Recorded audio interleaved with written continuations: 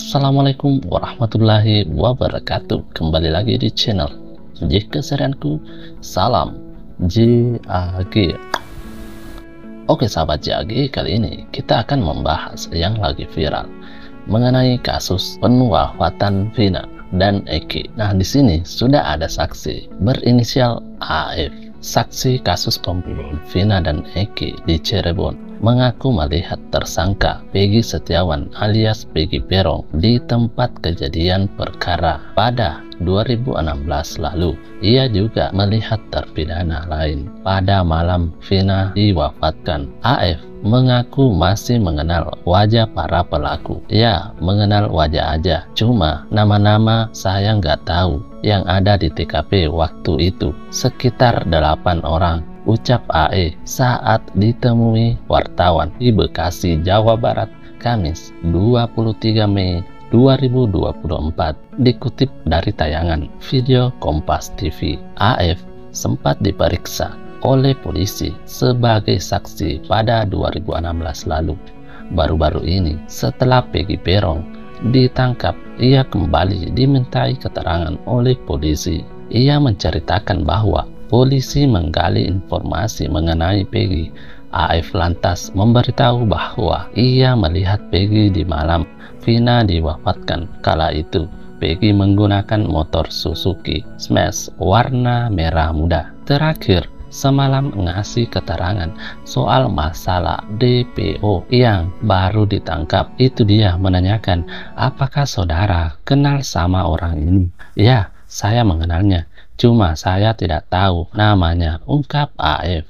Terus, Motornya apakah tahu? Saya tahu. Saya sebutkan. Motornya Smash. Warna pink. Ya, Peggy motornya Smash. Sambungnya lebih lanjut. AF juga mengungkapkan bahwa pada para pelaku penwafatan Vina dan Eki kerap nongkrong di depan bengkelnya. Kalau keseharian Peggy, saya kurang tahu. Ya, saya tahu Peggy itu sering kumpul sama anak-anak itu sering nongkrong ucap AF diketahui Vina diwafatkan oleh 11 anggota geng motor pada 27 Agustus 2016 lalu. Sebanyak 8 pelaku kini telah ditangkap dan diadili, sedang tiga orang menjadi buron. 8 tahun lalu, kasus Vina kembali ramai usai kasus diadaptasi ke dalam film berjudul Vina sebelum tujuh hari yang tayang pada 8 Mei 2024. Publik mendesak polisi untuk segera menangkap buron. Selasa 21 Mei 2024, jajaran Polda Jawa Barat berhasil menangkap seorang buron atas nama Peggy. Saat ini, Peggy telah ditetapkan sebagai tersangka dan diduga menjadi otak penwafatan Vina dan Eki dengan didatangkan Peggy masih ada dua buron kasus Vina yang berkeliaran yakni Dani 28 dan Andi 31 namun, atas penangkapan Peggy ini, banyak netizen yang beranggapan bahwa polisi salah tangkap. Di dalam tangkapan tersebut, Polisi membantah tudingan salah tangkap Peggy Setiawan DPO kasus Vina Cirebon.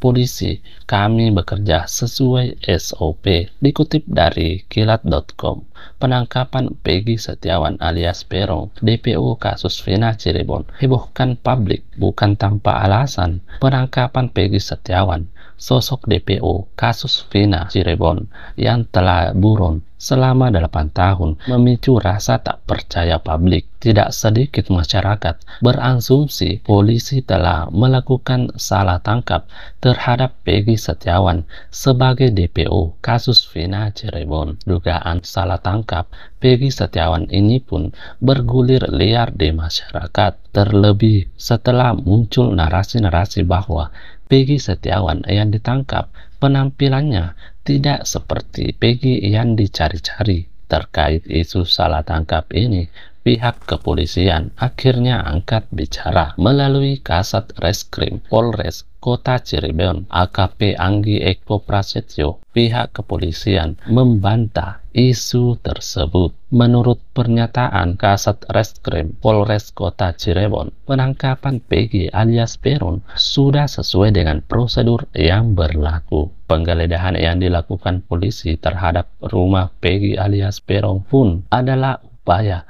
untuk melengkapi barang bukti penangkapan DPO kami mohon doa daripada masyarakat, tentunya dari pihak kepolisian bekerja sesuai SOP. Jadi kami sedang bekerja, mohon doanya. Insya Allah tidak salah tangkap, kata AKP Anggi Eko Prasetyo. Pernyataan Kasat Reskrim Polres Cirebon ini juga diperkuat oleh pernyataan tegas Dirkrimum Polda Jabar Kombes Surawan dalam pernyataan di hadapan media Kombes Sarawan meminta publik untuk tak mudah terpancing opini liar di luar sana. Jangan percaya, tidak usah terpancing dengan opini-opini, kata Kombes Surawan. Kombes Surawan juga memastikan bahwa sosok Peggy Setiawan yang ditangkap pada Selasa 21 Mei 2024 itu adalah DPO kasus Vina yang selama ini jadi buron polisi. Iya, sudah benar.